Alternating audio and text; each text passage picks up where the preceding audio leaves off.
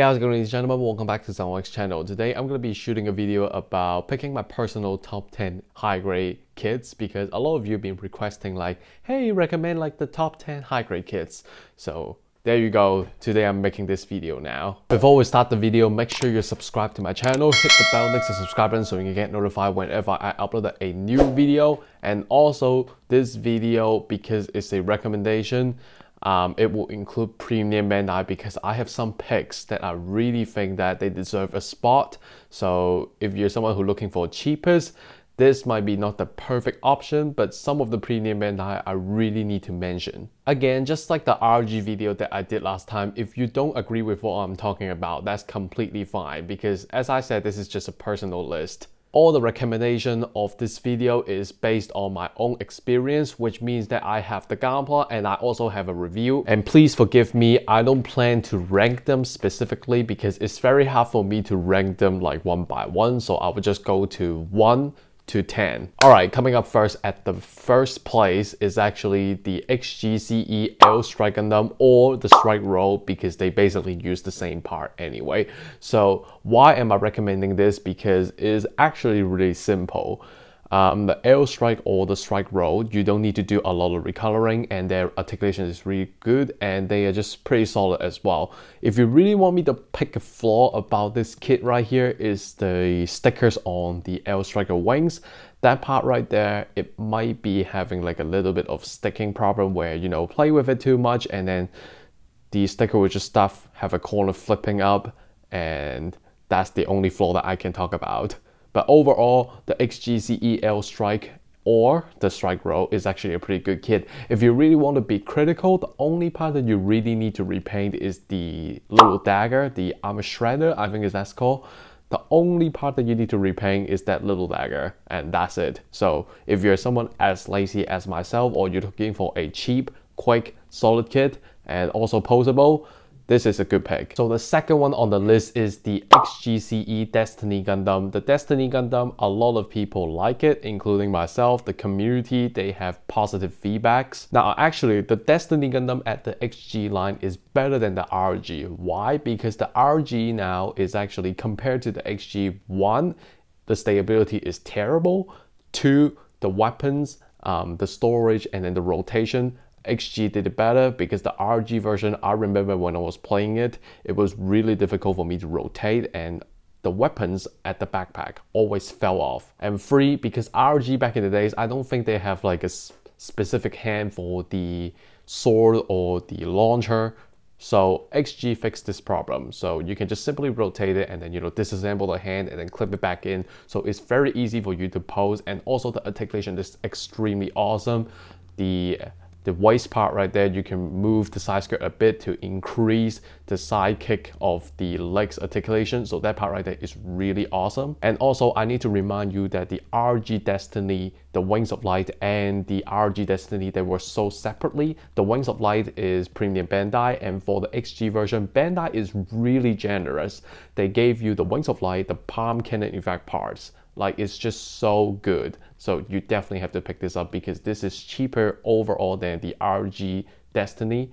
And if you if you're complaining like, but there's not enough details on the surface. Uh, there's not not enough decals. All you can do is just purchase like a RG Destiny waterslide decal and then just and then just take your HGCE Destiny, put on some decal. It looks as amazing as the RG. So HGCE Destiny Gundam, definitely recommend you to pick it up. Coming up next is the Infinite Justice Gundam. The Infinite Justice Gundam, I recently had a review about it. If you're not sure about the articulation or anything else about that Gunpla, you can just click the link in the description to check out the review. So let me just go through the Infinite Justice Gundam very quickly. So first, the articulation is absolutely amazing. The accessory, the gimmicks, they were beautiful amazing. Overall, you don't need to repaint anything because basically Bandai gave you every single color that you will need. So if you're as lazy as myself, you don't have to repaint a single thing. Just, you know, just do some panel lining and it will look amazing. Let me say it like this, the only part that the Infinite Justice might be having bad about it is the accessories because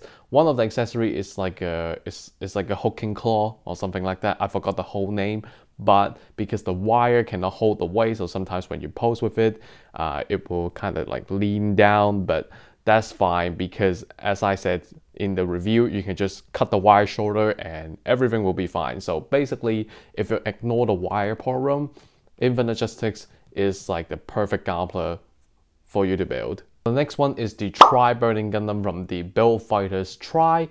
You might be very surprising. Why am I choosing this Gunpla? Well, a lot of you might be like myself. You don't like the Build Fighters Season 2, but the Try Burning Gundam, I really need to recommend it because uh, let's just say like this it's a Gunpla from around five years ago but the articulation is like really amazing because the Try Burning Gundam in the anime is like a Gunpla that uses martial art so bandai will replicate that so what they do is they extend the joint and then make it like really posable so any kind of martial art pose that you want to play with is possible on that Gunpla. And also this Try Burning Gundam because they have to give you the effects to let you recreate the scenes from the anime where the punching, the kicking. So they gave you those fancy effect parts, those flame effect parts. So you can really mess around with that Try Burning Gundam. Definitely recommend you to pick this up. The effects looks amazing and also the posability is like over the sky. The next one is Premium Bandai, the Mudrock Gundam, or you can call it Gundam G06. So I reviewed this before. This is a premium Bandai. I'm sorry if you think that premium Bandai is like really expensive, but I really need to recommend this Gunpla. So let's talk about why am I recommending this. So first, for the coloring, the only part that you need to recolor is the backpack thrusters where it's supposed to be yellow inside and that's the only part that you need to recolor. Overall, the articulation is amazing and also I think it's the Gunpla that features like you can rotate the whole arm or the forearm only, so you can make your poses more natural. Generally, the stability of the weapons and the shield were really good. You shake them, they never fell off. Also, Bandai is actually really generous. They gave you the part to let you recreate the incomplete version or the complete version. It's actually really simple. You just have to swap a little bit of part, like maybe two parts. You just need to swap two parts and it's the incomplete version and then swap again is the completed version. So you can play with it differently. Even though this is a premium Bandai, I still recommend people to buy this because you know, it's actually a really good premium Bandai. Stability is good, color separation is good, the weapons are really stable, you have extra gimmicks, and also you can switch between incomplete version or complete version. The next one I'm recommending is the Gundam Ground type. Why am I recommending this? Oh, by the way, I, I mean the revised version, not the old version, okay? The Gundam Ground type articulation is really good. Knee down shooting is not a dream, it's actually possible. Also, there's different accessory for you to play with, so overall, then Gundam Ground Type, you're not gonna feel bored because you have a lot of accessories for you to play around. And also, the part that is amazing is actually one, uh, the articulation, and two, the backpack design. So the backpack, it have a 180 millimeters cannon in it, and it's stored perfectly inside the backpack. It's like so amazing.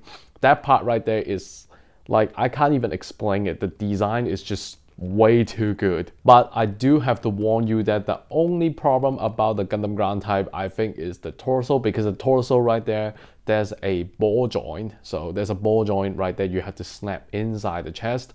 And that part right there, when you're moving side to side, I think that joint is for you to move side to side if my memory is correct. When you move side to side, um, the ball joint sometimes will pop out. At least on mine, it will pop out. I don't know about yours. The Gundam ground type separated into two types. So the first one right here is the regular release, but the regular release is still pretty fun. The second one, if you have more money and you're considering buying premium Bandai, then uh, and you actually never own a Gundam Ground Type Revive version, buy the Parachute Pack version because the Parachute Pack version they gave you an extra Parachute Pack, the GM head, and also a lot of weapons as well. So you can definitely mess with the accessories. I bought the Parachute Pack version. The review is in the description. Please go and check out.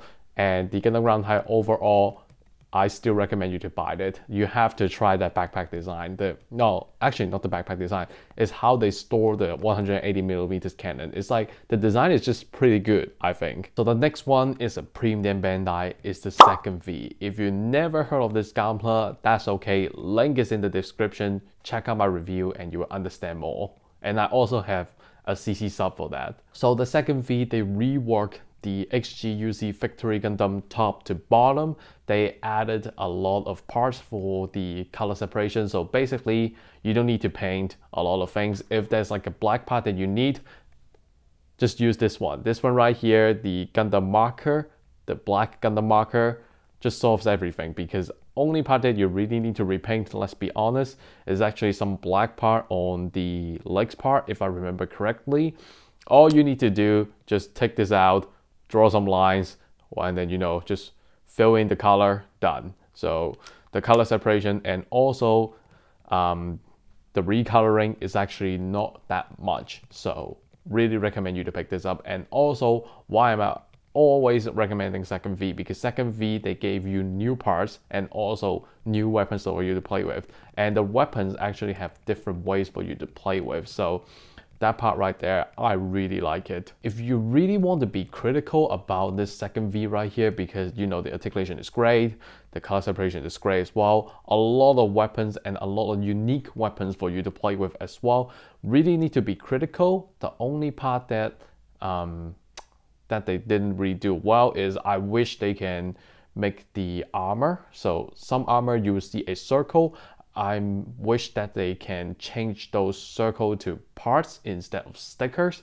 That's the only flaw that I really can pick. The next one on the list is the Hyakushiki. Why am I recommending you to buy this Hyakushiki right here. So first, the articulation is amazing. The details is actually looking really good because the Hyakushiki legs have a part kind of like exposing the inner frame. They gave you that detail as well. So overall, the articulation and the detail is already really amazing. And also for those of you that were really lazy, um, Bandai got you covered. So most of the gold parts, they use hidden nub marks. So um, you just trim those part off and you basically can't see any nub marks on the gold piece of armor because ah, Bandai planned this all along. They released a chrome plated version. This is all for the chrome plated version for the Gundam base version.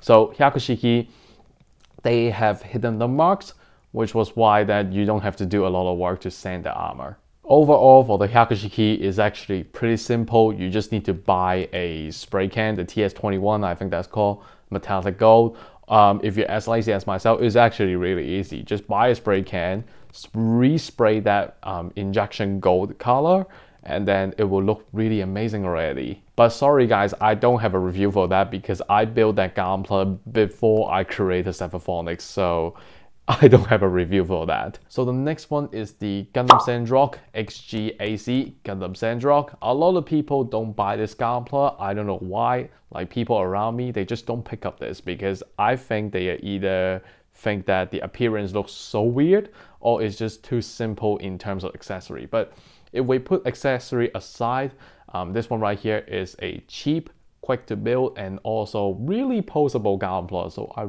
actually really recommend you to pick this up. So first, you don't need to do a lot of recoloring, maybe on the shoulder, but honestly, this marker right here does everything. Just fill in the black color on the shoulders and done. You can really pose with the Sandrock Gundam right here and also the shield you can combine with the Hit Soto, is that called Soto? Hit Soto you can combine together and to form the cross crusher, I think that's called. And also they gave you the part to recreate the heated uh, Soto. Why am I recommending this? It's actually really simple, cheap, quick to build, you can pose with it very easily and very naturally. And again, just like myself, I am very lazy, so I don't want to do any recoloring. Sandrock Gundam is like a perfect choice for me. I don't have to recolor anything and it still looks amazing. The last one on the list is going to be a little bit surprising is the Galbaldy Beta. Listen to me, why am I recommending the Galbaldy Beta? So first, the Galbaldy Beta might be like the bore,